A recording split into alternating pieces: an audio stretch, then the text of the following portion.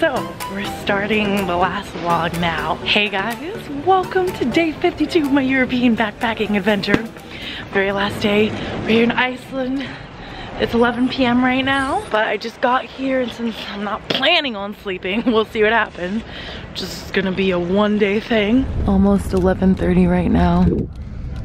And the sun's still a good bit up in the sky. I mean, it's definitely getting dark, but not that dark.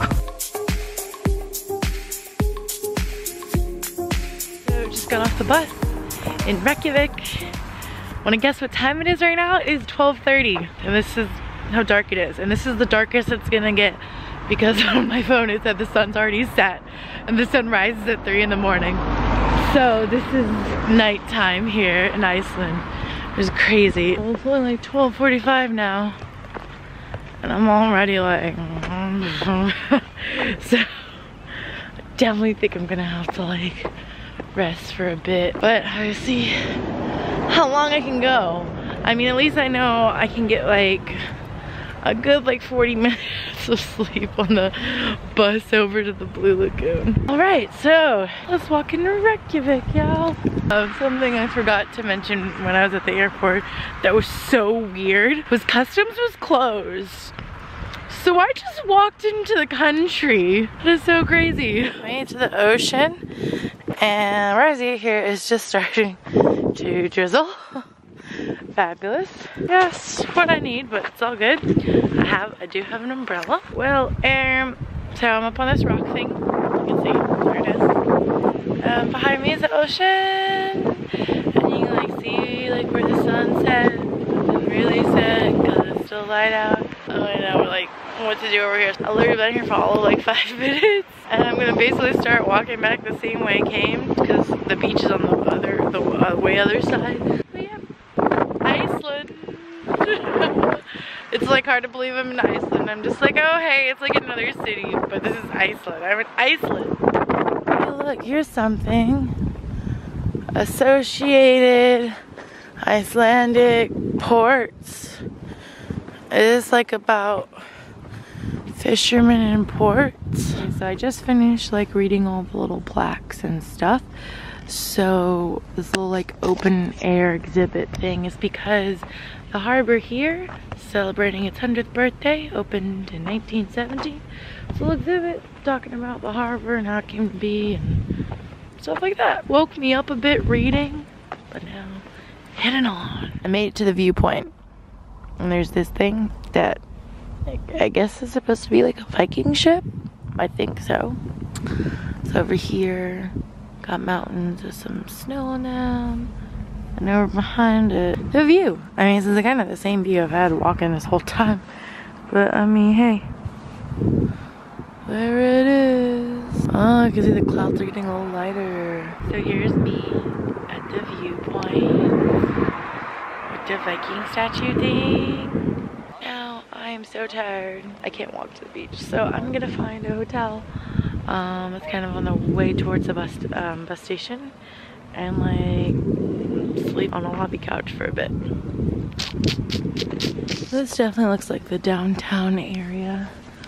Really cute actually. So apparently puffins are a big thing here.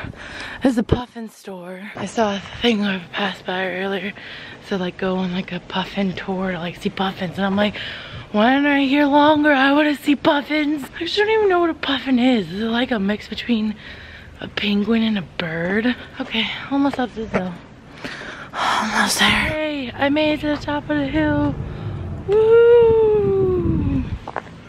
And there's actually this like pretty cool looking church up here.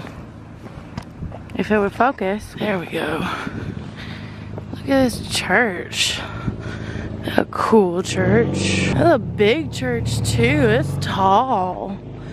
Like just the design. I've never seen anything like it, like as a church at least. It's very like modern looking, isn't it? I wonder if this is like Icelandic style.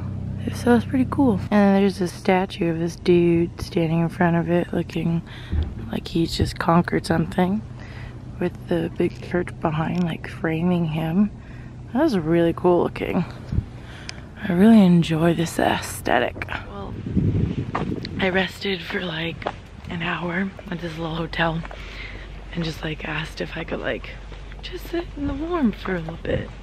And I kind of like slowly fell asleep. Uh, he let me sleep for like an hour and then he's like, he's like, hey, he's like, you can't sleep here. And I'm like, sorry, I didn't mean to. I totally meant to fall asleep.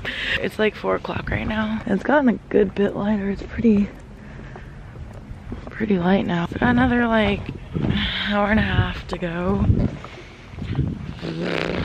Um, so, um, and I do, don't just want to go to the bus station because those benches there looked really uncomfortable. So I'm realizing that this vlog is meant to be the adventures of where Jade slept.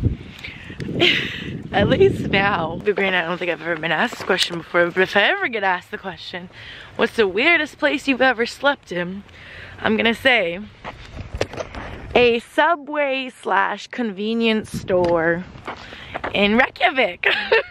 but it was great because there was like a like a booth, not like a booth, but you know like um how there'll be like tables and then there'll be like one side with like a booth so it was nice and long. I stretched out there. No one bothered me for an hour. I, I think they realized I was there. Pretty sure they did, they just didn't care. It was great. I actually good to sleep until my alarm went off. So now I'm going to the bus station, which is right here. Bought a Red Bull for when I get there. So I'm not like falling asleep. yeah, I have a feeling today's gonna be a lot of me just sleeping in random places. Woo, Iceland! Okay. On the bus, it'll be about an hour till I get there. And I'm gonna take a nap. Okay, see you guys when I get there. There it is, where all the steam's coming out of. Whoa. That's so cool. All right, guys, Blue Lagoon. Just got here. Okay, so let's go. Oh, I don't know what that sound is. Let's go do this. So it seems like Iceland is basically just a lot of rocks. like, I think it's just, it's made, like the whole island is made out of, it came about from a volcano. So it just looks like a, like a lot of volcanic rock is what makes up the island. This is all I've seen like basically everywhere. Alright, so got my hair all conditioned so the lagoon doesn't mess it up. And here we go. Woo! Oh, it's nice and warm. Ooh. Oh, it feels really nice. Ooh. Ah. Alright, well I'm gonna go see about getting one of my masks done over mud bar. It's honestly kind of nice being here this early in the morning. Not packed.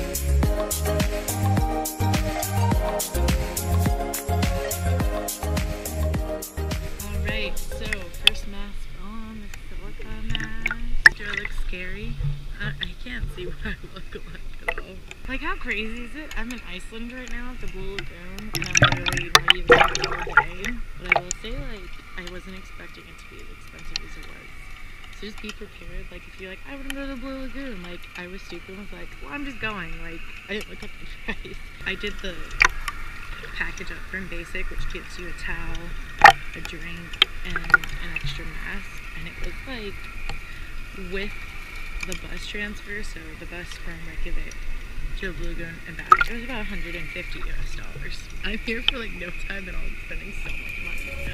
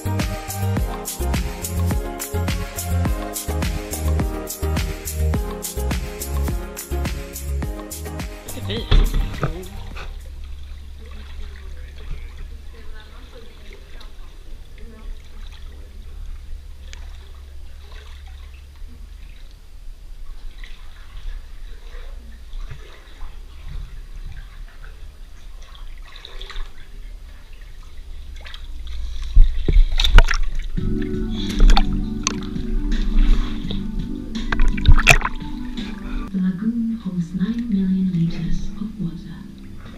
Deep in the earth, the water's temperature is a scorching 240 degrees Celsius.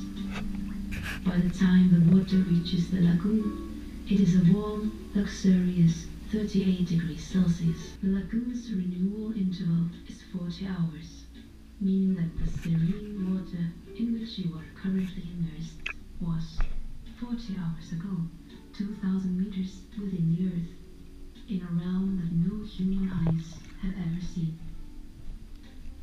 The lagoon is blue because of the way that silica reflects sunlight. Silica, however, is a dynamic element and does much more than make the lagoon naturally blue. Okay, so just finished having a break where I got some food because I was hungry and I'm gonna go in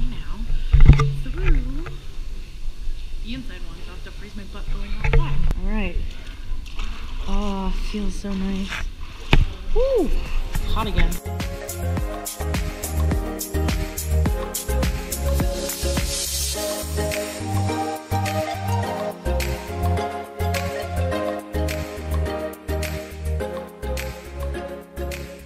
I think it's raining now. It looks like it's clouds, and I think I can feel like little droplets, like tiny, tiny little droplets coming down. Ooh. Oh, good it feels. Yeah, it's definitely starting to I didn't know it was supposed to rain today, though. All right, got a cider, which is actually really good. I don't think I've had this. Some maybe. It's really good. And it's definitely starting to sprinkle a lot more now. Just got my second mask, my algae mask. It's um like a, a thinner one and a more moisturizing one because the other one is kind of like a deep cleansing pore. So it's just been kind of dry, and then this one feels like super moisturizing. Waterfall!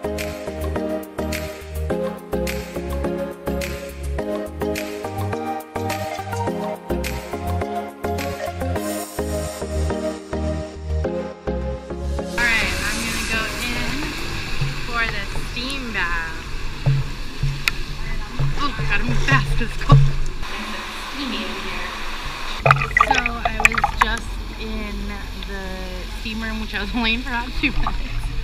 It was just hard to breathe in there without like a wet washcloth over your mouth, which they didn't have. And then I went in the sauna room, which was much easier. Stay in, stay there for like five minutes, just chilling. Gonna go back to the rock cave for a bit, and then I think uh, head out.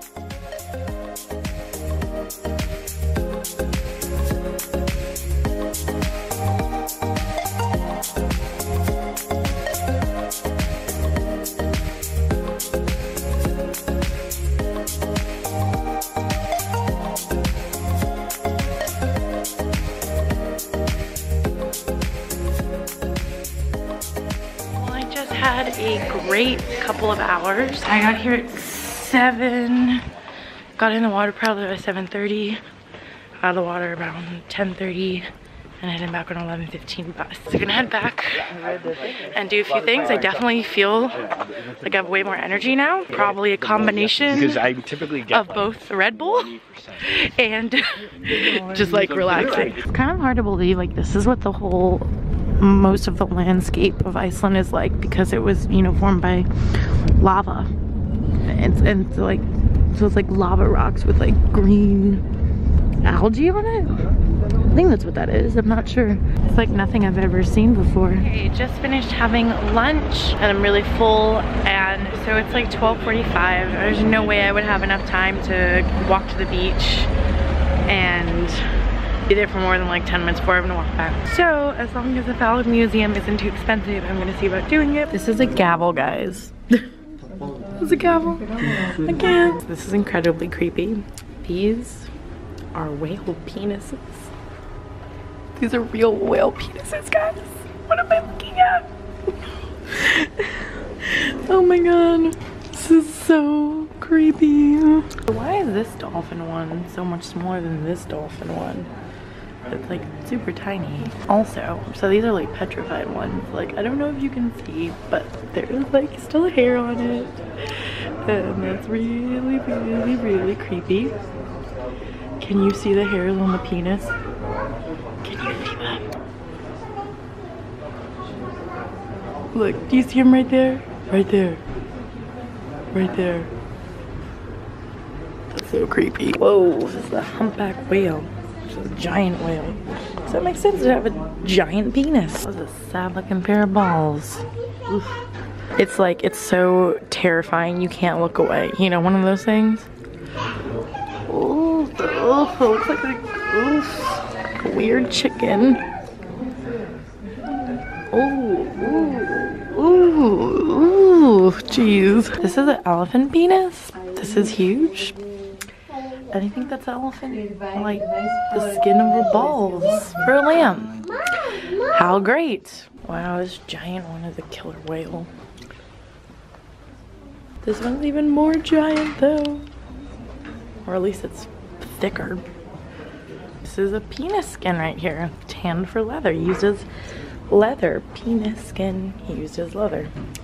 Like that's not disturbing at all. Oh my god, people would eat penises. These are horse penises that are like flavored. What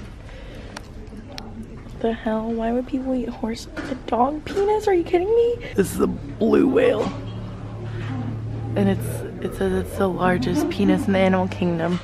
It's about eight feet long, so this is only a third of the actual penis. And it says the blue whale ejaculates five gallons of sperm in one session. That's a whole lot. We have a bunch of random little ones like a field mouse, a ram, a reindeer, horse, horse, ram, bull, pig. Oh.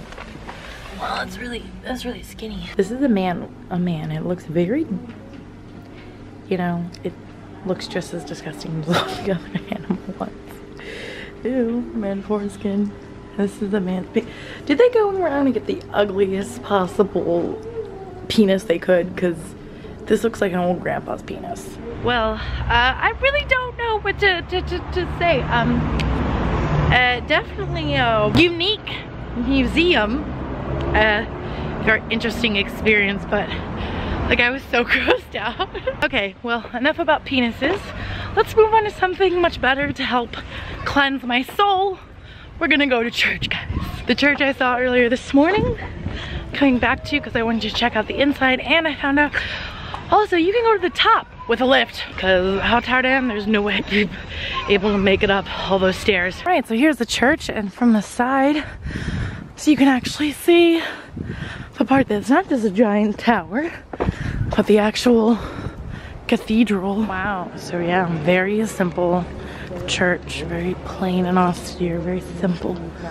No stained glass, just big white columns, marbled floor. Not even quite marble, like stone. I mean, green pews.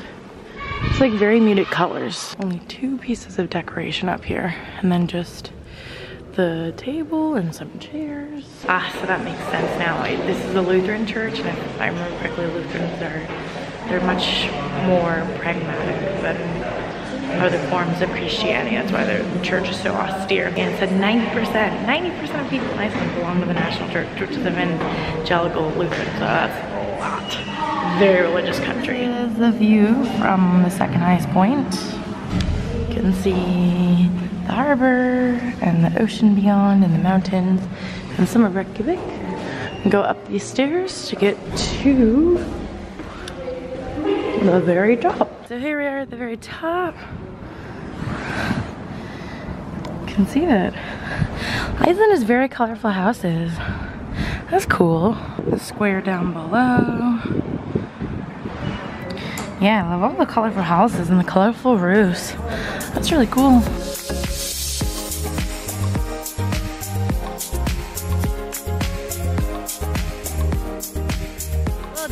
Up in this big butt church. It was cool seeing Iceland from the top, but now it is time to leave, to go to the bus, and get to the airport, and fly back to the States. And here's this magnificent church behind me. All right, now for real. Time to to the bus stop. So apparently in Iceland, it just rains off and on day. Like it will rain for like two minutes and go away. And you'll pull out your umbrella and be like, oh no, it stopped. it's so annoying. It's like, either stop or keep going. Make up your mind. So at the airport, only five minute check-in this time. I'm gonna try my best to make sure I empty everything I need. And I love how it's all automated now. Like literally it's just, okay, there we go. So weirdly enough, their passport control is like before you get on the plane. Like when you're leaving the airport, leaving the country, not coming in. So strange, but I got it. My little stamp. Alright guys, so I'm on the plane, headed back home. Only a little bit of time till I'm back after being away for almost two months. So excited to see my mom. She's excited to be back in my own bed and see my dog. I miss my Hales and so excited to be going back home. See you guys back in the United States. So just landed back in Los Angeles. It was a pretty miserable flight. Seats were not comfortable. And even though I took a sleeping pill, I had a really hard time sleeping. So not really a fun flight, but hey, I'm back. So happy to be back. Can't believe I've been gone for 52 days. It's the longest amount of time I've ever been gone for. The most is a month. I was just to Louisiana, not out of the country by myself in a foreign place. And before I end this vlog, I just want to say that, so while whoever's watching this, you guys won't be watching this, these videos until, you know, months after I've actually been in Europe. But I want you guys to know that vlogging, it made me feel like I wasn't so alone. Even though I know no one's watching me right now, I know at some point someone will be, so it felt like I was talking to a friend, to someone. So vlogging, it really helped me out. It really made me feel like I wasn't so alone, like I was telling someone about my day. Oh God, that is really loud. Okay, I'm gonna pause this until this fucking noise goes away. Jesus Christ, this is the line for customs. Ridiculous. So as I was saying, before I was rudely interrupted by that annoying noise, whoever's watching right now, thank you guys for watching because some days vlogging was what got me through like being alone, you know, traveling by myself, not being with anyone that day because it felt like I was with someone because I was talking to you guys. So just thank you guys so much for watching. I hope you enjoyed these travel vlogs. Sorry if they were kind of a mess. It was my first time doing travel vlogs, um, but I still hope you guys enjoyed them, enjoyed seeing my travels, and hopefully took you to places that you've never seen before, because I know not everyone is lucky enough to travel. So I'm really happy I could share my traveling experience with you all. I'm just gonna end the vlog here. Thank you guys once again for watching. If you guys enjoyed my travel vlogs, please let me know. So this is the last one, the last vlog of 52 days of traveling Europe by myself, backpacking for the very first time, seeing lots of countries, lots of different things and back in the United States. Well, I guess all there is left to say is thank you guys so much for watching. If you guys aren't already subscribed to my channel, make sure you guys hit that subscribe button down below. Once again, my name is Jade, and I'll see you guys soon with more videos. Bye! Thanks for joining me on my journey.